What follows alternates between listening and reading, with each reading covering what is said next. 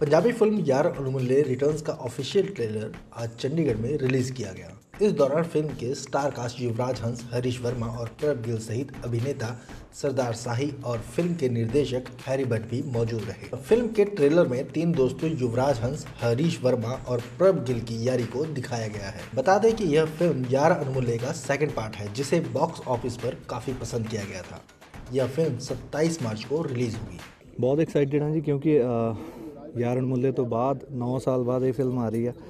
ਜਿੰਨੀ ਕੁ audience excited ਆ, ਉਨਾ ਹੀ ਅਸੀਂ ਐਕਸਾਈਟਿਡ ਆ, ਕਿਉਂਕਿ ਮੈਂ ਵੀ ਹਜੇ ਪੂਰੀ ਫਿਲਮ ਤਾਂ ਦੇਖੀ ਨਹੀਂ ਗਈ ਜਿੰਨੀ ਕੁ ਡਬਿੰਗ 'ਚ ਅਸੀਂ ਦੇਖ ਸਕਦੇ ਆ ਜਾਂ ਜਿੰਨਾ ਕੋ ਤੁਸੀਂ ਡੱਬ 'ਚ ਆਪੋ ਆਪਣਾ ਪਾਰਟ ਦੇਖਦੇ ਹੋ, ਉਹ ਹਜੇ ਪੂਰੀ ਜੁੜੀ ਹੋਈ ਦੇਖੀ ਨਹੀਂ ਗਈ let's hope for the best ਅੱਜ ਟ੍ਰੇਲਰ ਲਾਂਚ ਹੋਇਆ।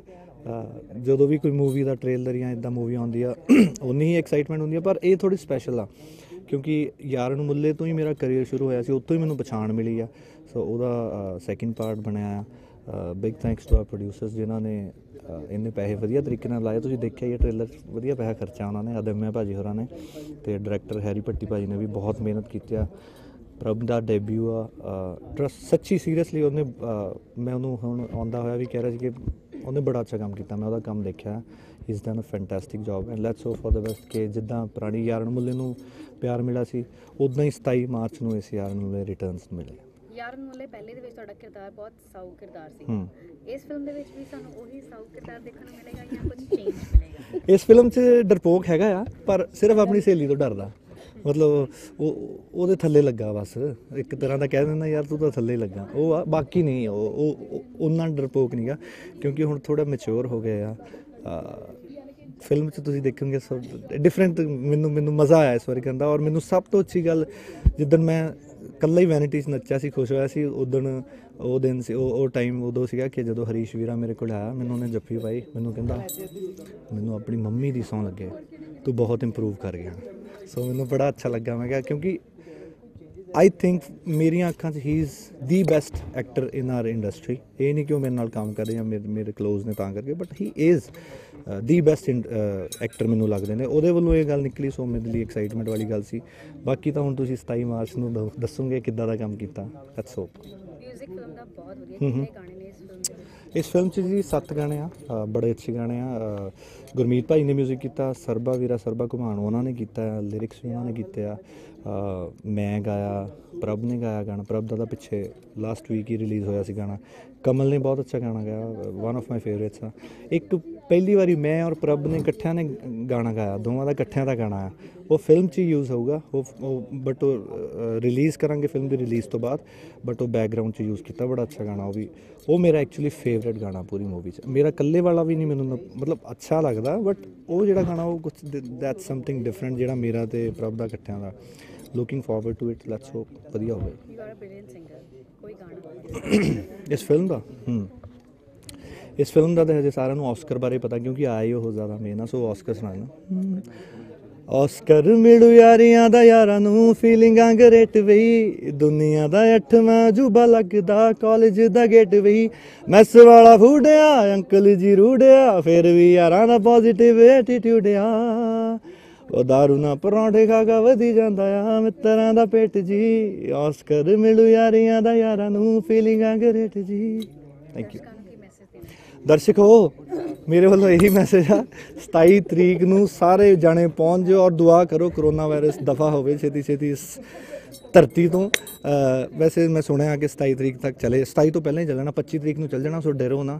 ਤੁਸੀਂ 27 ਤਰੀਕ ਨੂੰ ਸਾਰੀ ਫੈਮਲੀਆਂ ਨੇ ਆਉਣਾ, ਆਪਣੇ ਯਾਰਾਂ, ਦੋਸਤਾਂ ਨੇ, ਜਿੱਦਾਂ ਮੈਂ ਉਦੋਂ ਵੀ ਕਹਿੰਦੇ ਹੁੰਦੇ ਸੀ, ਅਸੀਂ ਟਰਾਲੀਆਂ, ਟਰੱਕ ਭਰ ਕੇ ਆਇਓ, ਸੋ ਆਇਓ, ਮਜ਼ੇ ਲਵਾਂਗੇ। ਥੈਂਕ ਯੂ ਗਾਉਂਦਾ ਬਹੁਤ ਵਧੀਆ ਐਕਟ ਬਹੁਤ ਵਧੀਆ ਕਰਦਾ।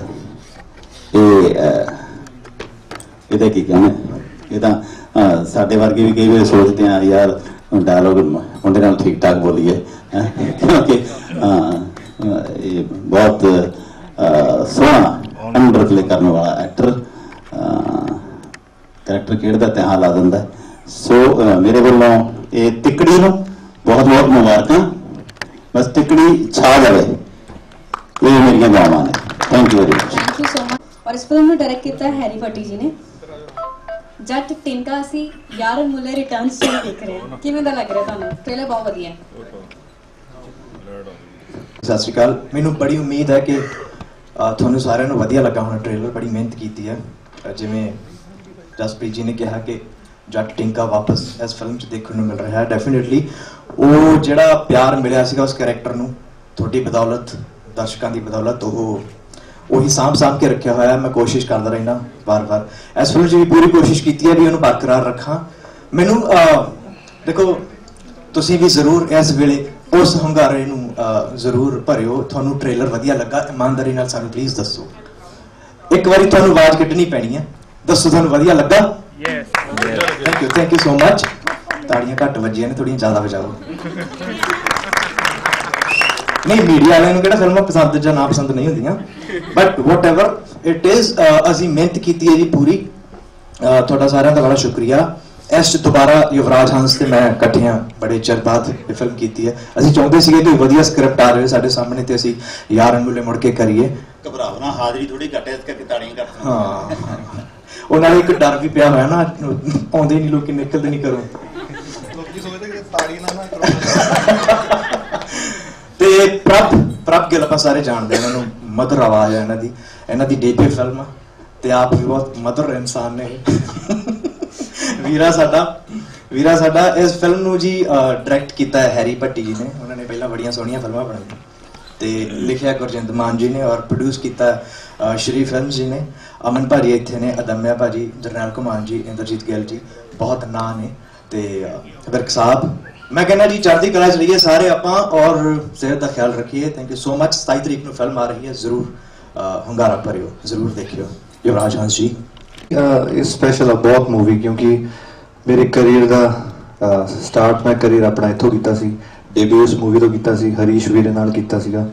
ਸੋ ਸਾਨੂੰ ਪਹਿਲਾਂ ਵੀ ਇੱਕ ਦੋ ਅਹ, ਵਾਰੀ ਆਫਰਸ ਆਈਆਂ ਸੀ। ਯਾਰ ਨੂੰ ਮੁੱਲੇ ਦੇ ਪਾਰਟ ਲਈ ਬਟ ਉਦੋਂ ਸਾਨੂੰ ਸਟੋਰੀ ਕੁਝ ਨਹੀਂ ਸੀ ਚੰਗੀ ਲੱਗਦੀ ਕਿਉਂਕਿ ਵੀਰਾ ਔਰ ਮੈਂ ਹਮੇਸ਼ਾ ਡਿਸਕਸ ਕਰਦੇ ਹਾਂ ਜਦੋਂ ਕੋਈ ਯਾਰ ਨੂੰ ਮੁੱਲੇ ਨੂੰ ਰਿਲੇਟਡ ਕੋਈ ਲੈ ਕੇ ਆਉਂਦਾ ਸੋ ਜਦੋਂ ਹੈਰੀ ਭੱਟੀ ਮੇਰੇ ਕੋਲ ਆਇਆ ਤਾਂ ਤੇ ਉਹਨਾਂ ਨੂੰ ਮੈਂ ਇੱਕੋ ਹੀ ਗੱਲ ਪੁੱਛੀ ਸੀ ਕਿ ਹਰੀਸ਼ ਨੇ ਹਾਂ ਕਰਤੀ ਆ so he said yes Harish ਨੇ ਹਾਂ ਕਰਤੀ ਫਿਰ ਮੈਂ ਕਿਹਾ ਫਿਰ ਵਧੀਆ ਹੀ ਹੋਣੀ ਫਿਲਮ ਜੇ ਹਰੀਸ਼ ਨੇ ਹਾਂ ਕਰਤੀ ਕਿਉਂਕਿ ਸਿਆਣਾ ਬੰਦਾ ਜਿੱਦਾਂ ਸਰ ਨੇ ਕਿਹਾ ਕਿ ਕੈਂਟ ਐਕਟਰ ਤਾਂ ਹੈ ਹੀ ਸਿਆਣਾ ਵੀ ਆ ਸੋ ਅਹ, ਹਾਂਜੀ ਤੇ 뮤직 ਦੀ ਗੱਲ ਰਹਿ ਗਈ ਸੀ 뮤직 ਕੀਤਾ ਜੀ ਇਹਨਾਂ ਦਾ ਅਹ, ਗੁਰਮੀਤ ਭਾਜੀ ਨੇ ਗੁਰਮੀਤ ਸਿੰਘ ਜੀ ਦਾ 뮤직 ਹੈ ਅਹ, ਸਾਡਾ ਭਰਾ ਹੈ ਸਰਬ ਕਮਾਨ ਉਹਨਾਂ ਨੇ ਵੀ ਕੀਤਾ ਹੈ ਅਹ, ਤੇ ਪ੍ਰਭ ਜੀ ਨੇ ਗਾਇਆ ਵਿੱਚ ਮੈਂ ਗਾਇਆ ਵਿੱਚ ਅਹ, ਕਮਲ ਕਮਲ ਦਾ ਤਾਂ ਗਾਣਾ ਹੁਣੀ ਤੁਸੀਂ ਸੁਣਿਆ ਹੀ ਹੈ ਵਿੱਚ ਚੱਲਿਆ ਸੀਗਾ ਸੋ ਬਹੁਤ ਅੱਛਾ 뮤직 ਹੈ ਆਮ ਸ਼ੋਰ ਤੁਸੀਂ ਪਸੰਦ ਕਰੋਗੇ ਹੁਣ ਬਸ ਸ਼ੁਰੂ ਹੋ ਜਾਣੇ ਗਾਣੇ ਵਗੈਰਾ ਆਉਣੇ ਵੀ ਗੁਰਜੰਤ ਭਾਈ ਨੇ ਜਿਵੇਂ ਦੱਸਿਆ ਹੀ ਆ ਸਾਰਾ ਕੁਝ ਤੁਹਾਨੂੰ ਸੋ ਬਸ ਤੁਸੀਂ ਆਸ਼ੀਰਵਾਦ ਦਿਓ ਜੀ ਅਹ, 27th ਆਫ ਮਾਰਚ ਨੂੰ ਰਿਲੀਜ਼ ਆ ਪ੍ਰੇ ਕਰੋ ਕਿ ਕਰੋਨਾ ਵਾਇਰਸ ਹਟ ਜਾਵੇ, ਬੜੇ ਡਰੇ ਹੋਏ ਆ ਅਸੀਂ ਸਾਰੇ। ਕਰੋਨਾ ਵਾਇਰਸ ਨੇ ਇੱਕ ਤਾਂ ਬਹੁਤ ਡਰਾਇਆ ਹੋਇਆ ਸਾਰਿਆਂ ਨੂੰ। So let's hope corona virus ਮਰ ਜਾਵੇ ਕਿਸੇ ਤਰ੍ਹਾਂ। ਸਾਡੀ ਫਿਲਮ ਚੱਲ ਜਾਵੇ ਕਿਸੇ ਤਰ੍ਹਾਂ। Thank you once again for coming ਬਾਕੀ ਜੇ ਕਿਸੇ ਨੇ ਕੁਝ ਪੁੱਛਣਾ ਹੋਵੇ, ਪੁੱਛ ਲਓ ਪਹਿਲਾਂ ਉਸ ਤੋਂ ਉਸ ਤੋਂ ਪਹਿਲਾਂ ਪ੍ਰਭ ਗਿੱਲ ਜੀ ਕੁਝ ਸਰ ਆਪਣੇ ਮਧੁਰ ਆਵਾਜ਼ ਨਾਲ ਕੁਝ ਸਤਿ ਸ਼੍ਰੀ ਅਕਾਲ ਜੀ ਸਾਰਿਆਂ ਨੂੰ। ਮੇਰੇ ਵੱਲੋਂ ਵੈਲਕਮ ਬਹੁਤ ਬਹੁਤ ਸ਼ੁਕਰੀਆ ਤੁਹਾਡਾ ਸਾਰਿਆਂ ਦਾ, ਜੀ ਆਇਆਂ ਨੂੰ, ਤੁਹਾਨੂੰ। ਐਂਡ ਉਮੀਦ ਹੈ ਕਿ ਤੁਸੀਂ ਜਿੰਨਾ ਕੁ ਵੀ ਟ੍ਰੇਲਰ ਦੇਖਿਆ ਸਾਡੀ ਫਿਲਮ ਦਾ, ਮੇਰੀ ਪਹਿਲੀ ਫਿਲਮ ਦਾ, ਤੁਹਾਨੂੰ ਚੰਗਾ ਲੱਗਿਆ ਹੋਊ। ਇਸ ਫਿਲਮ ਮੇਰੀ ਪਹਿਲੀ ਫਿਲਮ ਹੈ ਕੋਲ ਮੈਨੂੰ ਬਹੁਤੀਆਂ ਗੱਲਾਂ ਨਹੀਂ ਆਉਂਦੀਆਂ, ਸੱਚੀ ਗੱਲ ਤਾਂ ਇਹ ਹੈ ਕਿ ਮੈਂ- ਮੈਂ ਫਿਲਮ ਦੋ ਤਿੰਨ ਕਾਰਨ ਸੀ ਫਿਲਮ ਕਰਨ ਦੇ ਬੜੇ ਮੇਜਰ ਉਹ ਮੈਂ ਤੁਹਾਨੂੰ ਦੱਸ ਦੇਣਾ ਤੁਹਾਨੂੰ ਬਹੁਤ ਤੁਹਾਡੀ, ਮਤਲਬ ਆਈ ਥਿੰਕ ਕਿ ਕਾਮਨ ਸਵਾਲ ਹੋਊਗਾ, ਉਹਦਾ ਤੁਹਾਨੂੰ ਜਵਾਬ ਮਿਲ ਜੂਗਾ। ਸਭ ਤੋਂ ਪਹਿਲਾ ਕਾਰਨ ਇਹ ਦੋ ਭਰਾ ਖੜੇ ਨੇ ਸਾਹਮਣੇ। ਮੈਨੂੰ ਇਹਨਾਂ ਦੀ ਹਾਮੀ ਦਾ ਪਤਾ ਲੱਗਿਆ ਕਿ ਦੇ ਆਰ ਇਨ ਤਾਂ ਮੈਂ ਇਨ ਹੋ ਗਿਆ। ਦੂਜਾ ਕਾਰਨ ਸੀ ਹੈਰੀ ਪੱਟੀ, ਡਾਇਰੈਕਟਰ ਨੇਚਰਲੀ ਉਹਨਾਂ ਦਾ ਨਾਮ ਸੁਣਿਆ ਹੋਇਆ ਸੀ। ਪਤਾ ਸੀ ਉਹਨਾਂ ਨੇ ਚੰਗੀਆਂ ਫਿਲਮਾਂ ਕੀਤੀਆਂ ਨੇ। ਤੀਜਾ ਕਾਰਨ ਸੀ ਯਾਰ ਅਣਬੁੱਲੇ ਜਿਹਦੇ ਜਿਹਦਾ ਪਹਿਲਾਂ ਅਸੀਂ ਖੁਦ ਫਿਲਮ ਦੇਖੀ ਆ, ਪਤਾ ਨਹੀਂ ਕਿੰਨੇ ਸੌ ਵਾਰ ਬਾਰ-ਬਾਰ ਦੇਖੀ ਆ। ਇਹ ਤਿੰਨ ਕਾਰਨ ਸੀ ਜਿਹੜਾ ਜਿਹੜੇ ਮੇਰੇ ਸੀ ਫਿਲਮ ਕਰਨ ਦੇ। ਸੋ ਰੋਲ ਨੈਚੁਰਲੀ ਮੈਨੂੰ ਪਤਾ ਕਿ ਤੁਹਾਨੂੰ ਮੇਰੇ ਗਾਣਿਆਂ ਨਾਲੋਂ ਤੁਹਾਨੂੰ ਮੈਂ ਡਿਫਰੈਂਟ ਦੇਖਣ ਨੂੰ ਮਿਲੂਗਾ ਥੋੜਾ ਗੁੱਸੇ ਵਾਲਾ ਦੇਖਣ ਨੂੰ ਮਿਲੂਗਾ। ਪਰ ਬਹੁਤ ਮਜ਼ਾ ਆਇਆ ਕੰਮ ਕਰਕੇ, ਬਹੁਤ ਕੁਝ ਇਹ ਫਾਰਮਲ ਨਹੀਂ ਗਾ ਸੱਚੀ ਗੱਲ ਹੈ ਕਿ ਬਹੁਤ ਕੁਝ ਸਿੱਖਿਆ ਇਹਨਾਂ ਤੋਂ। ਬਿਕੋਜ਼ ਸੱਚੀ ਇਹ ਗੱਲ ਇਹ ਹੈ ਕਿ ਮੈਂ ਕਦੇ ਕਦੇ ਕੰਮ ਜਾਂਦਾ ਹੁੰਦਾ ਸੀ ਬਿਕੋਜ਼ ਮੈਂ ਤਾਂ ਗਾਣੇ ਵਾਲਾ ਹੀ ਹਾਂ ਹਨਾ? ਪਰ ਮੈਂ ਇੱਕ ਹੋਰ ਗੱਲ ਕਹਿਣੀ ਚਾਹੁੰਦਾ ਕਿ ਬਹੁਤ ਡਿਫਰੈਂਸ ਹੈ ਕਈ ਵਾਰ ਆਰਟਿਸਟਾਂ ਨੂੰ ਇਹ ਲੱਗਦਾ ਵੀ ਇੰਨੇ ਗਾਣਿਆਂ ਦੇ ਵੀਡੀਓ ਕੀਤੇ ਆ ਤੇ ਫਿਲਮ ਕਰ ਲਈ। ਤੇ ਕੋਈ ਬੜਾ ਔਖਾ ਕੰਮ ਨਹੀਂ, ਪਰ ਔਖਾ ਕੰਮ ਹੈ। ਇਹ ਮੇਰਾ ਐਕਸਪੀਰੀਅੰਸ ਦੱਸਦਾ ਕਿ ਇਹ ਔਖਾ ਕੰਮ ਹੈ। ਸੋ ਇੱਕ ਵਾਰ ਫਿਰ ਤੋਂ ਸਾਰੀ ਟੀਮ ਦਾ ਥੈਂਕ ਯੂ ਸ਼੍ਰੀ ਫਿਲਮਸ ਦਾ, ਦਮਿਆ ਭਾਜੀ ਦਾ, ਪੰਕਜ ਭਾਜੀ ਦਾ, ਮਾਨ ਸਾਹਿਬ ਦਾ ਐਂਡ ਹੈਰੀ ਭੱਟੀ ਦਾ, ਜਿਨ੍ਹਾਂ ਨੇ ਮੇਰੇ ਤੇ ਬਿਨਾਂ ਮੇਰਾ ਕਿਤੇ ਵੀ ਕੰਮ ਦੇਖਿਆ, ਮੇਰੇ ਤੇ ਟਰਸਟ ਕੀਤਾ ਐਂਡ ਥੈਂਕ ਯੂ ਇਹਨਾਂ ਦੋਨਾਂ ਵੀਰਿਆਂ ਦਾ। ਮੈਨੂੰ ਬਹੁਤ ਕੁਝ ਵੀ ਨਹੀਂ ਸਿਖਾਇਆ, ਪਰ ਸਿਖਾਇਆ। So thank you so much thank you so much thank you so much ਭਾਜੀ ਮੈਂ ਰਾਜਨ ਬਤਲਾ ਸਰ ਨੂੰ ਵੀ ਇਨਵਾਈਟ ਕਰਨਾ ਚਾਹੂੰਗੀ ਪਲੀਜ਼ ਉਹ ਵੀ ਸਾਨੂੰ ਜੁਆਇਨ ਕਰਨ ਔਰ ਇਸ ਫਿਲਮ ਦੇ creative producer mister Inderjit Gill ji ਵੀ ਸਾਨੂੰ ਜੁਆਇਨ ਕਰਨ ਪਲੀਜ਼ ਰਾਜਨ ਬਤਰਾ ਜੀ ਉਹ ਸ਼ਖਸੀਅਤ ਨੇ ਜਿਨ੍ਹਾਂ ਨੇ ਯਾਰ ਮੁੱਲੇ ਫਿਲਮ ਪਹਿਲੀ ਬਣਾਈ ਸੀਗੀ ਤੇ ਉਸ ਤੋਂ ਬਾਅਦ ਬੜੇ ਗੈਪ ਤੋਂ ਬਾਅਦ ਫੇਰ ਹੁਣ ਇਸ ਫਿਲਮ ਦੇ ਵਿੱਚ ਸਾਡੇ ਨਾਲ ਜੁੜੇ ਨੇ ਮਤਲਬ ਟਾਈਟਲ ਇਹਨਾਂ ਕੋਲੇ ਸੀਗਾ ਬਾਕੀ ਦਿਲ ਤੱਕ ਤੱਕ ਕਰ ਰਾਜ ਭਾਈ ਆ ਜਾਓ ਅਦਰ ਭਾਜੀ ਪਲੀਜ਼ ਤੁਸੀਂ ਵੀ ਸਾਨੂੰ ਇਹ ਬੂਟੇ ਇਹਨਾਂ ਦੇ ਲਾਏ ਹੋਏ ਆ ਜਿਹੜੇ ਖੜੇ ਥੈਂਕ ਯੂ ਭਾਜੀ। ਐਕਚੁਅਲੀ ਇੱਕ ਮੈਂ ਗੱਲ ਸ਼ੇਅਰ ਕਰਨੀ ਰਾਜਨ ਭਾਈ ਨੂੰ ਦੇਖ ਕੇ ਮੈਨੂੰ ਯਾਦ ਆ ਗਈ। ਕੋਈ ਨਾ ਨਵੇਂ ਮੁੰਡਿਆਂ ਦੇ ਪੈਸੇ ਨਹੀਂ ਸੀ ਲਾ ਰਿਹਾ। ਅਨੁਰਾਗ ਭਾਜੀ ਪ੍ਰੋਜੈਕਟ ਲੈ ਕੇ ਜਾ ਰਹੇ ਸੀ ਸਾਰੇ ਪ੍ਰੋਡਿਊਸਰਸ ਕੋ ਤੇ ਉਹ ਕਹਿੰਦੇ ਨਹੀਂ ਨਹੀਂ ਭਾਜੀ ਨਵੇਂ ਮੁੰਡਿਆਂ ਨੂੰ ਕਹਿੰਦੇ ਦੇਖਣ ਆਉਣਾ ਜਾਂ ਕੋਈ ਕੋਈ ਫਾਇਦਾ ਨਹੀਂ ਹੈਗਾ। But he was the bravest producer ever ਉਸ ਟਾਈਮ ਤੇ ਹਜੇ ਬੂਮ ਵੀ ਨਹੀਂ ਸੀਗਾ ਇਹਨਾਂ ਪੰਜਾਬੀ ਇੰਡਸਟਰੀ 'ਚ ਹਜੇ ਸ਼ੁਰੂ ਹੋਈ ਸੀਗੀ। ਉਸ ਟਾਈਮ ਤੇ ਇਸ ਭਾਜੀ ਨੇ ਸਾਡੇ ਤੇ ਪੈਸਾ ਲਾ ਕੇ ਇੱਕ ਸਟੇਕ ਤੇ ਲਾਇਆ ਸੀਗਾ। ਉਹ ਥੈਂਕ ਯੂ ਭਾਜੀ ਸਾਡਾ ਤੁਹਾਡੇ ਕਰਕੇ ਤੁਰੇ ਫਿਰਦੇ ਆ ਇੱਥੇ। ਥੈਂਕ ਯੂ ਸੋ ਮਚ ਤੁਸੀਂ ਵਿਸ਼ਵਾਸ ਕੀਤਾ। ਥੈਂਕ ਯੂ ਸੋ ਮਚ ਔਰ ਹੁਣ ਇੱਕ ਅੱਧੀ ਹੋਰ ਬਣਾਓ ਭਾਜੀ। ਜਿਹੜੇ 27 ਨੂੰ ਲਓ ਨਾਲ। ਮੈਂ ਕਿਹਾ 27 ਨੂੰ ਅਨਾਉਂਸ ਕਰ ਦਿੰਦੇ ਹਾਂ। ਇਹਨੂੰ ਬਸ ਕੋਲ ਮਿਲ ਜੇ ਪੂਰਾ ਪਿਆਰ ਮਿਲ ਜੇ। ਅਦਨਿਆ ਸਰ ਪਲੀਜ਼ ਆ ਜਾਓ ਤੁਸੀਂ ਵੀ। ਦਮਿਆ ਭਾਜੀ ਆ ਜਾਓ। ਅੱਛਾ। ਉਹ ਸਾਰੀ ਪ੍ਰੈਸ ਵਾਲੇ ਉਧਰ ਕੈਮਰਾ ਕਰ ਦੋ। ਆਓ ਸਰ ਸਾਡੇ ਫਿਲਮ ਦੇ ਪ੍ਰੋਡਿਊਸਰ ਪ੍ਰੋਡਿਊਸਰ ਸਾਹਿਬ ਆ ਜਾਓ। ਲੋ ਦਿਲ ਸਾਹਿਬ। ਜੀ ਆਓ ਜੀ। ਮੇਰੇ ਲਈ ਤਾਂ ਖੈਰ ਬਹੁਤ ਹੀ ਪ੍ਰਾਈਡ ਮੂਵਮੈਂਟ ਹੈਗੀ ਹੈ। ਕਿਉਂਕਿ ਇੱਕ ਚੀਜ਼ ਸੋਚੀ ਮੈਂ ਔਰ ਗੁਰਜਿੰਦਰ ਮਾਨ ਮੇਰੀ ਫਿਲਮ ਦਾ ਰਾਈਟਰ ਹੈਗਾ। ਆਪਾਂ ਦੋਨਾਂ ਨੇ ਇੱਕ ਚੀਜ਼ ਪਲਾਨ ਕੀਤੀ ਸੀ ਸੋਚੀ ਸੀ ਵੀ ਯਾਰ ਇਸ ਕਹਾਣੀ ਦੇ ਉੱਤੇ ਫਿਲਮ ਬਣ ਸਕਦੀ ਯਾਰ ਅਨਮੁੱਲੇ ਹੈ ਨਾ ਦੋਨਾਂ ਦੀ ਗੱਲ ਕਰਨ ਤੋਂ ਬਾਅਦ ਅਸੀਂ ਫਿਰ ਰਾਜਨ ਸਰ ਨਾਲ ਬੇਨਤੀ ਕੀਤੀ ਕਿ ਭਾਜੀ ਆ ਕਨਸੈਪਟ ਹੈਗਾ ਫਿਲਮ ਹੈਗੀ ਆ, ਆਪਾਂ ਇਹਦੇ ਯਾਰ ਅਨਮੁੱਲੇ ਬਣਾ ਲਈਏ। ਕਿਉਂਕਿ ਟਾਈਟਲ ਜਿਹੜਾ ਹੈਗਾ, ਜਿਹੜੀ ਯਾਰ ਅਨਮੁੱਲੇ ਬ੍ਰਾਂਡ ਹੈਗਾ, ਉਹ ਬਤਰਾ ਸ਼ੋਭੇ ਦਾ ਹੈਗਾ। ਤੇ ਰਾਜਨ ਜੀ ਨੇ ਇੱਕ ਤੁਹਾਨੂੰ ਸਾਰੀ ਕਹਾਣੀ ਸੁਣਦੇ ਸਾਰੇ ਹੀ ਮਤਲਬ ਜਿੱਦਾਂ ਓਕੇ ਕਰਤੀ ਯੈਸ ਕਰਤੀ। ਉਸ ਤੋਂ ਬਾਅਦ ਫਿਰ ਪ੍ਰੋਸੈਸ ਸ਼ੁਰੂ ਹੋਇਆ। ਫਿਰ ਹਰੀਸ਼ ਭਾਈ ਨਾਲ ਮਿਲੇ, ਜੁਵਰਾਜ ਭਾਈ ਨਾਲ ਗੱਲ ਕੀਤੀ। ਸਭ ਚੀਜ਼ਾਂ ਮਤਲਬ ਔਨ ਬੋਰਡ ਇੱਕ ਬਾਈ ਇੱਕ ਇੱਕ ਇੱਕ ਕਰਕੇ ਸਾਰੀਆਂ ਸਿੱਧੀਆਂ ਹੁੰਦੀਆਂ ਚਲੀ ਗਈਆਂ ਹਨਾ ਕੜੀ ਨਾ ਕੜੀ ਜੁੜਦੀ ਗਈ ਜੁੜਦੀ ਗਈ ਸਭ ਇੰਨੀ ਪੋਜ਼ਿਟਿਵਿਟੀ ਨਾਲ ਕੰਮ ਸ਼ੁਰੂ ਹੋਇਆ ਔਰ ਬਹੁਤ ਵਧੀਆ ਤਰੀਕੇ ਨਾਲ ਬਿਨਾਂ ਕਿਸੇ ਰੁਕਾਵਟ ਦੇ ਸ਼ੂਟ ਪੋਸਟ ਪ੍ਰੋਡਕਸ਼ਨ ਅੱਜ ਆਪਾਂ ਟ੍ਰੇਲਰ ਲਾਂਚ ਤੇ ਖੜੇ ਹਾਂ ਹਨਾ। ਤੋਂ ਸਾਰਿਆਂ ਨੂੰ ਰਾਜਨ ਬੱਤਰਾ ਜੀ ਨੂੰ ਔਰ ਸਪੈਸ਼ਲੀ ਮਤਲਬ ਇਸ ਫਿਲਮ ਦੇ ਜਿਹੜੇ ਕੈਪਟਨ ਹੈਗੇ ਆ, ਅਦਮਿਆ ਜੀ ਜਿਨ੍ਹਾਂ ਜਿਨ੍ਹਾਂ ਤੋਂ ਬਿਨਾਂ ਕੁਝ ਵੀ ਚੀਜ਼ ਪੋਸੀਬਲ ਹੀ ਨਹੀਂ ਸੀ। ਸਾਰੇ ਇੱਧਰ ਆ ਜਾਓ ਐਦਾਂ ਨਾ ਕਰੋ। ਕਿਉਂਕਿ ਅਦਮਿਆ ਸਿੰਘ ਮੀਨਸ ਯਾਰ ਮੁੱਲੇ ਰਟਨ ਥਿਸ ਇਜ਼ ਟਰੂ ਮਤਲਬ। ਕਿਉਂਕਿ ਇਹ ਬੰਦਾ ਔਰ ਇਹਦਾ ਜੋ ਜਿੱਦਾਂ ਹੁੰਦਾ ਨਾ ਇੱਕ ਬੰਦੇ 'ਚ, ਆਪਾਂ ਪੰਜਾਬੀ 'ਚ ਗੱਲ ਕਰਦੇ ਵੀ ਯਾਰ ਗੁਰਦਾ ਹੋਣਾ ਚਾਹੀਦਾ ਹੈ ਨਾ। ਜੇ ਇਹ ਗੁਰਦਾ ਨਾ ਹੁੰਦਾ ਤਾਂ ਯਾਰ ਟਰਨ ਜਿਹੜੀ ਹੈਗੀ ਆ ਅੱਜ ਇੱਥੇ, ਮਤਲਬ ਆਪਾਂ ਸ਼ਾਇਦ ਮਤਲਬ ਨਾ ਪਾਉਂਦੇ ਜਾਂ ਜਿੱਦਾਂ ਵੀ ਜੋ ਵੀ ਹੈ ਨਾ। Hands of ਅਦਮਿਆ Singh ji. And ਅੱਜ ਆਪਾਂ ਟ੍ਰੇਲਰ ਲਾਂਚ ਕੀਤਾ, ਸਾਰਿਆਂ ਨੂੰ ਸਾਰੀ ਟੀਮ ਨੂੰ, ਸਾਰਿਆਂ ਨੂੰ ਬਹੁਤ ਬਹੁਤ ਮੁਬਾਰਕਾਂ। ਪ੍ਰੈਸ ਦਾ ਵੀ ਸਾਰਿਆਂ ਦਾ ਬਹੁਤ ਬਹੁਤ ਥੈਂਕ ਯੂ ਜੀ। ਤੁਸੀਂ ਆਏ ਇੱਥੇ, ਆਪਣਾ ਟਾਈਮ ਕੱਢ ਕੇ ਥੈਂਕ ਯੂ ਸੋ ਮਚ ਮੈਂ ਹੁਣ ਅਗੇਨ ਸੋਈ ਸਾਹਿਬ ਦਾ ਵੀ ਬਹੁਤ ਬਹੁਤ ਧੰਨਵਾਦ ਹੈ Soi Sahib thank you so much ਤੁਸੀਂ ਆਏ ਆਸ਼ੀਰਵਾਦ ਦਿੱਤਾ ਬਹੁਤ ਬਹੁਤ ਧੰਨਵਾਦ ਜੀ ਸਾਰੇ ਯਾਰਾਂ ਨੂੰ ਦੋਸਤਾਂ ਦਾ ਧੰਨਵਾਦ ਤੇ ਮੈਂ ਹੁਣ ਅਦਮਿਆ ਜੀ ਨੂੰ ਬੇਨਤੀ ਕਰੂੰਗਾ ਉਹ ਤੁਹਾਡਾ ਦੋ ਸ਼ਬਦ ਸਾਂਝੇ ਕਰਨਗੇ ਯਾਰ सबसे पहले आप सभी का स्वागत और धन्यवाद इन बिटवीन मैं दो आर्टिस्ट और जो हमारी फिल्म के बहुत प्यारा रोल जिन्होंने किया है मंजीत जी और राहुल ਰਾਹੁਲ जी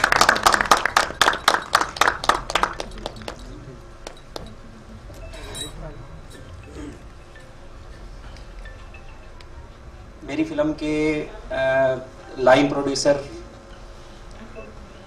Vik Sahab please sir आइए। जो समझ में आया कि सिनेमा लोगों को सपने दिखाता है।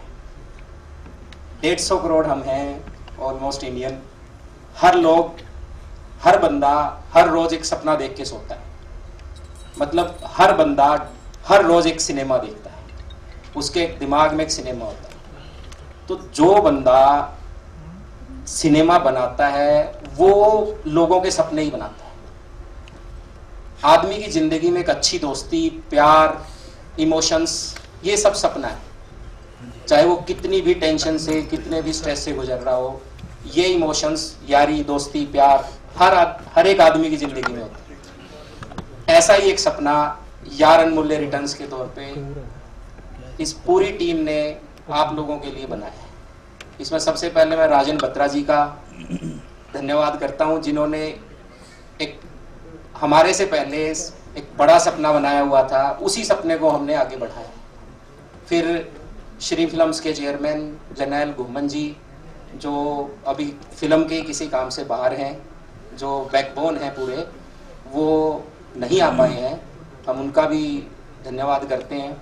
फिर मेरी पूरी टीम की आर्टिस्ट स्टार कास्ट सुना था कि स्टार कास्ट बड़े नखरे करती है सेट पे बड़े परेशान होते हैं लब बड़ी स्टार कास्ट थी। लेकिन मैं बताऊँ आपको, इतना मज़ा आया, मुझे तो पता ही नहीं लगा कि कब 40-45 दिन पूरे के पूरे चले गए। एक चीज़ मैं और ऐड करना चाहूँगा, इस फ़िल्म में परब गिल के साथ साथ जो हमारी एक फीमेल आर्टिस्ट हैं, जसलीन स्लैच उनका भी इंट्रोडक्शन हो रहा है इंडस्ट्री के लिए फ़िल्मों में। उन्होंने हरियाणवी करेक्टर जो है वो प्ले किया है। वो फ़िल्म एक बॉक्सर है। वो आपको पंच मारती भी दिखेंगी, हरियाणवी बोलती भी दिखेंगी। प्लस इसमें एक जो अदर फीमेल आर्टिस्ट हैं, वो हिमाचल की तो हमने हिमाचल, हरियाणा, पंजाब, इन तीनों की दोस्ती भी, तीनों के कल्चर भी मिक्स किए हैं। Means the movie is a blend of three mixtures the culture of the old Punjab आपको देखने को मिलेगा दोबारा से यार अनमूल्य रिटर्न्स में। सो so, कोरोना का ध्यान रखिए और 27 मार्च तक डोंट वरी टेम्परेचर 27 प्लस होगा कोरोना भाग जाएगा देश तो सिनेमा में आइए आशीर्वाद दीजिए और हमें भी और स्ट्रेंथन कीजिए कि ऐसे ही सपने हम बनाते रहें और आप लोगों के सामने पेश करते रहें। अब जो सबसे पहले एक कंसेप्शन होता है ना कि कोई चीज़ बननी चाहिए। वो सबसे ज़्यादा जरूरी होती है मैं उसका सबसे लास्ट में नाम जरूर ले रहा हूँ वो है गुरजिंद मान इस मूवी के सोचने वाले उसको स्क्रीन प्ले दे स्क्रीन प्ले का रूप देने वाले लिखने वाले डायलॉग राइटर सब कुछ वो गुरजिंद मान जी हैं मैं कहूँगा फिल्म के बारे में दो शब्द वो भी बोले गुरजिंद ਥੈਂਕ ਯੂ ਭਾਜੀ ਕਿ ਕਿਹੜੀ ਗੱਲ ਛੱਡਦੇ ਆ ਤੇ ਮੈਂ ਉਹ ਬੋਲਾਂ ਕਿਉਂਕਿ ਬੜੇ ਚਿਰ ਸਾਹਿਬ, ਮੈਂ ਸੋਚਿਆ ਉਹ ਦੋ ਆਰਟਿਸਟ ਉੱਥੇ ਖੜੇ ਨੇ ਮੈਂ ਉਹਨਾਂ ਮੈਂ ਬੁਲਾਉਂਗਾ ਪਰ ਉਹ ਵੀ ਇਹਨਾਂ ਨੇ ਬੁਲਾ ਲਿਆ। ਤੇ ਸਭ ਤੋਂ ਪਹਿਲਾਂ ਤੇ ਮੈਂ ਥੈਂਕ ਯੂ ਕਰੂੰਗਾ ਕਿਉਂਕਿ ਬੜਾ ਵੱਡਾ ਟਾਸਕ ਸੀ ਇਹ। ਤੇ ਸਾਰਿਆਂ ਨੇ ਸਾਥ ਦਿੱਤਾ, ਖਾਸ ਕਰਕੇ ਮੇਰਾ। ਜਿੰਨੇ ਸਾਰੇ ਖੜੇ ਨੇ, ਤਿੰਨ ਯਾਰ ਮੁੱਲੇ ਪਹਿਲਾਂ ਤਾਂ। ਤੇ ਸੈੱਟ ਤੇ ਬੜਾ ਪਿਆਰ ਰਿਹਾ ਇਹਨਾਂ ਦੇ ਨਾਲ। ਸਿੱਖਣ ਨੂੰ ਵੀ ਬਹੁਤ ਕੁਝ ਮਿਲਿਆ। ਔਰ ਸਭ ਤੋਂ ਜ਼ਿਆਦਾ ਥੈਂਕ ਯੂ ਮੈਂ ਕਰੂੰਗਾ ਇੰਦਰਜੀਤ ਭਾਜੀ ਦਾ, ਕਿਉਂਕਿ ਮੈਨੂੰ ਲੋੜ ਸੀ ਕੰਮ ਦੀ। ਮੈਂ ਇਹਦੇ ਵਿੱਚ ਕੋਈ ਦੋ ਰਾਏ ਨਹੀਂ ਹੈ। ਤੇ ਮੈਂ ਇੱਕ ਵਾਰੀ ਭਾਜੀ ਨੂੰ ਕਿਹਾ, ਮੈਂ ਕਿਹਾ ਭਾਜੀ ਮੈਨੂੰ ਕੰਮ ਦੀ ਲੋੜ ਹੈ ਤੇ ਮੈਂ ਸਾਲ ਤੋਂ ਫ੍ਰੀ ਬੈਠਾ। ਕਹਿੰਦੇ ਕੋਈ ਐਸੀ ਚੀਜ਼ ਹੈਗੀ ਹੈ ਜਿਹੜੀ ਕਮਾਲ ਦੀ ਹੋਵੇ? ਮੈਂ ਕਿਹਾ, ਹਾਂ, ਹੈ, ਪਰ 17 ਸਾਲ 7 ਸਾਲ ਪਹਿਲਾਂ ਮੈਂ ਕਿਹਾ ਮੈਂ ਲਿਖੀ ਪਰ ਸੁਣੀ ਨਹੀਂ ਉਹਨਾਂ ਨੇ। ਟਾਈਮ ਨਹੀਂ ਦਿੱਤਾ, ਮੇਰੇ ਸਟਰਗਲ ਤੇ ਡੇ ਸੀ। ਤੇ ਕਹਿੰਦੇ, ਹੁਣੇ ਆਪਾਂ ਇੱਕ ਮਿੰਟ ਚਲੇ ਜਾਂਦੇ ਅਸੀਂ ਚਲੇ ਗਏ, ਉਹਨਾਂ ਨੂੰ ਫੋਨ ਕੀਤਾ, ਉਹਨੂੰ ਸੁਣਾਈ ਔਰ ਇਹ ਕਹਿੰਦੇ ਡਨ ਸ਼ਾਮ ਨੂੰ ਹਰੀਸ਼ ਭਾਈ ਨੂੰ ਸੁਣਾਈ ਔਰ ਰਾਤ ਨੂੰ ਯੁਵਰਾਜ ਭਾਈ ਨੂੰ ਸੁਣਾਈ। ਇੱਕ ਦਿਨ ਚ, ਦੋ ਦਿਨ ਚ ਫਿਲਮ ਫਾਈਨਲ ਹੋ ਗਈ। ਸੋ ਮੈਂ ਸਾਰਿਆਂ ਦਾ ਥੈਂਕ ਯੂ ਕਰਦਾ ਕਿ ਔਰ ਇੱਕ ਲਾਈਨ ਚ ਮੈਂ ਫਿਲਮ ਬਾਰੇ ਗੱਲ ਕਰਾਂਗਾ ਕਿ ਬਾਕੀ ਫਿਲਮ ਜਿੰਨੇ ਵੀ ਲੋਕ ਆਉਂਦੇ ਨੇ, ਉਹ ਇਹ ਗੱਲ ਕਹਿੰਦੇ ਨੇ ਕਿ ਸਾਡੀ ਫਿਲਮ ਵੱਖਰੀ ਹੈ ਮੈਂ ਕਹੂੰਗਾ, ਮੇਰੀ ਫਿਲਮ ਵੱਖਰੀ ਨਹੀਂ ਹੈ। ਇਸ ਕਰਕੇ ਵੱਖਰੀ ਹੈ। ਕਿਉਂਕਿ ਇਹ ਵੱਖਰੀ ਨਹੀਂ ਹੈ। ਔਰ ਇੱਕ ਫਿਲਮ ਇੱਕ ਬਾਤ ਵਰਗੀ ਹੈ। ਜਿੱਦਾਂ ਮਾਂ ਪੁੱਤ ਨੂੰ ਬਾਤ ਸੁਣਾਉਂਦੀ ਹੈ ਨਾ, ਐਵੇਂ ਤੁਹਾਨੂੰ ਥੀਏਟਰ 'ਚ ਬੈਠਿਆਂ ਲੱਗੂਗਾ ਕਿ ਵੀ ਅਸੀਂ ਇੱਕ ਬਾਤ ਸੁਣ ਕੇ ਉੱਠੇ ਆ ਸਕੂਨ ਮਿਲੂਗਾ ਫਿਲਮ ਦੇਖ ਕੇ। ਰੌਲਾ ਨਹੀਂ ਹੈ। ਕੂਲ ਹੋ ਕੇ ਉੱਠੋਗੇ ਤੁਸੀਂ ਬਸ ਇੰਨਾ ਹੀ ਕਹੂੰ thank you so much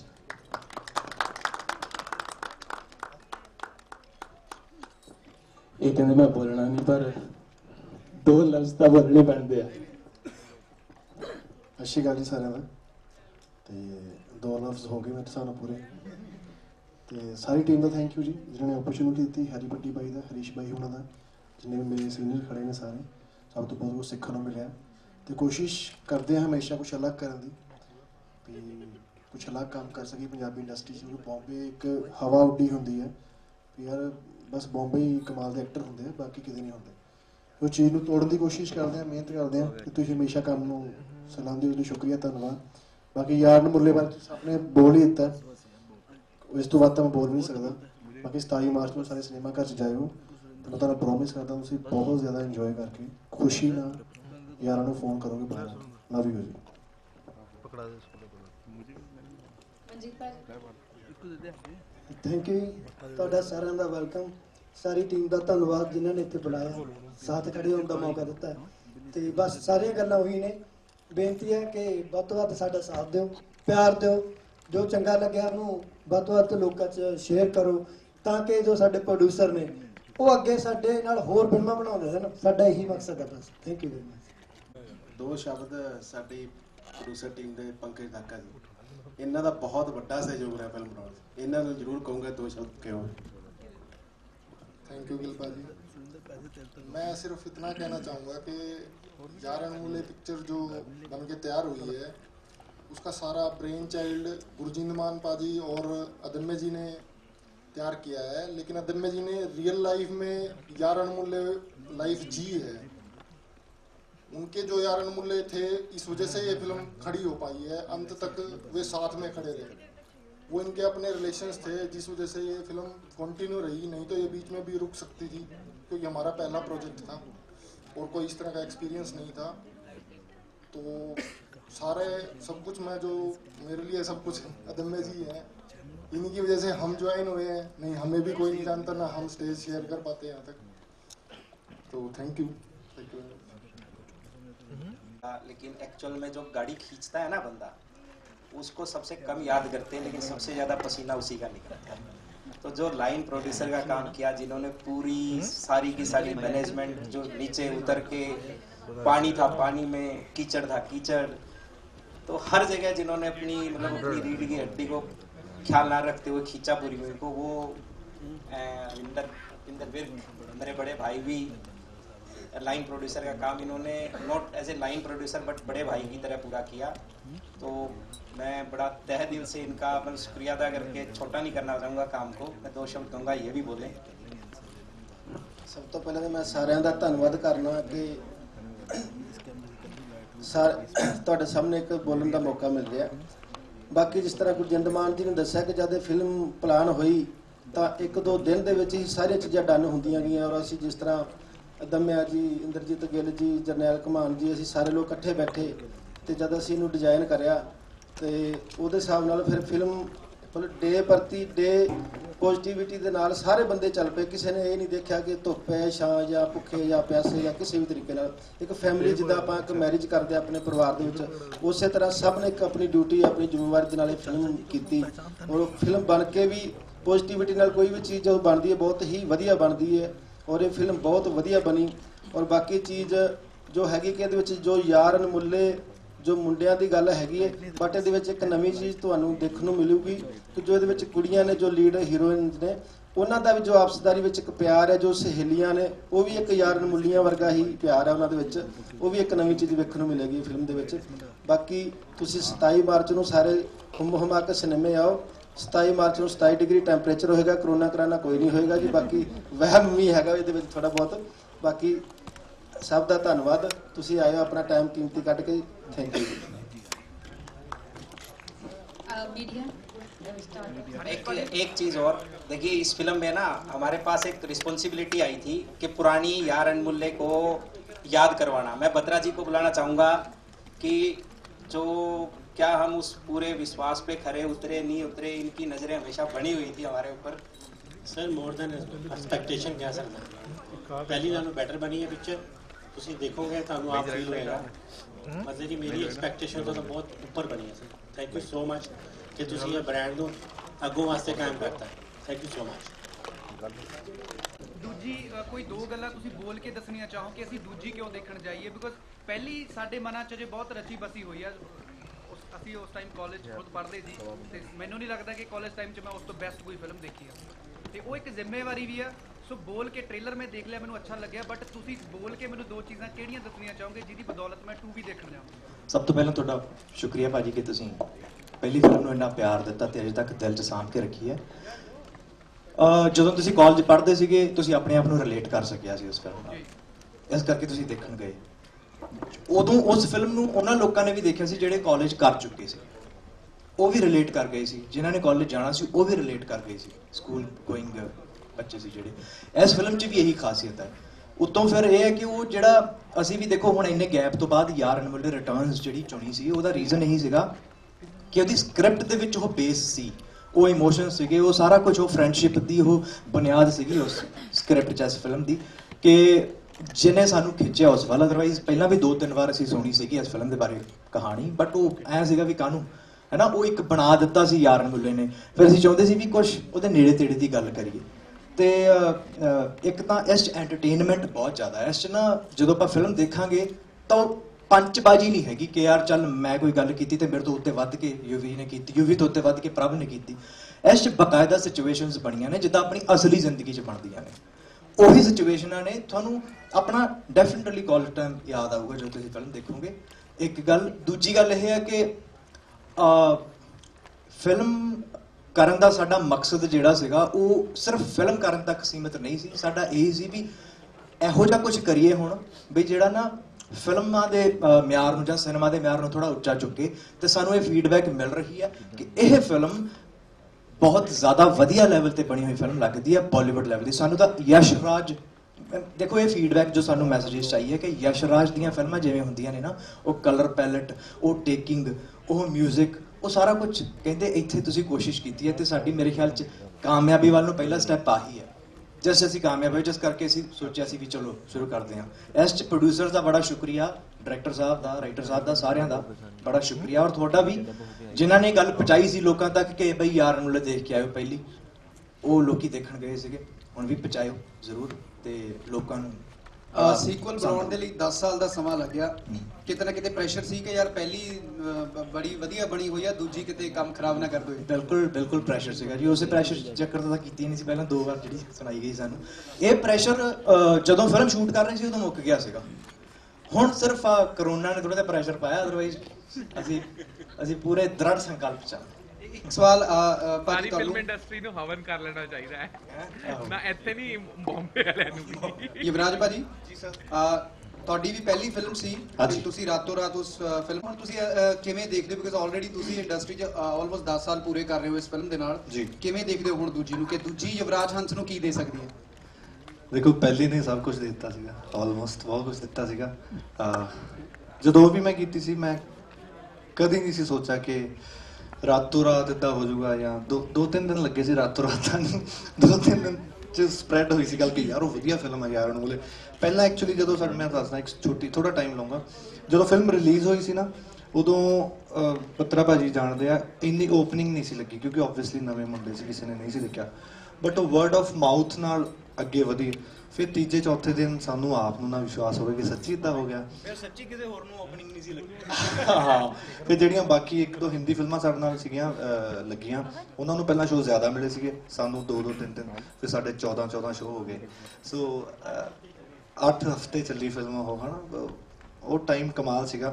And let's hope for the best ਅਸੀਂ ਆਪਣੇ ਵੱਲੋਂ ਦੇਖੋ ਜੀ ਓਨੈਸਟਲੀ ਬਾਬਾ ਜੀ ਨੂੰ ਹਾਜ਼ਰ ਨਾਜ਼ਰ ਜਾਣ ਕੇ ਓਨੈਸਟਲੀ ਮੂਵੀ ਬਣਾਈ ਹੈ। ਓਨੈਸਟਲੀ ਤਿੰਨਾਂ ਨੇ ਕੰਮ ਕੀਤਾ। ਈਵਨ ਸਾਡੇ ਡਾਇਰੈਕਟਰਸ ਸਾਡੇ ਜਿੰਨੇ ਵੀ ਕੋ ਆਰਟਿਸਟ ਨੇ ਸਾਡੇ ਰਾਈਟਰ ਸਾਹਿਬ ਪ੍ਰੋਡਿਊਸਰਾਂ ਦੀ ਟੀਮ ਜਿੰਨੀ ਵੀ ਸਾਰੇ ਸਾਰਿਆਂ ਨੇ ਦਿਲੋਂ ਕੰਮ ਕੀਤਾ ਇੱਕ ਫੈਮਿਲੀ ਵਾਂਗੂ ਕੰਮ ਕੀਤਾ ਹੈ।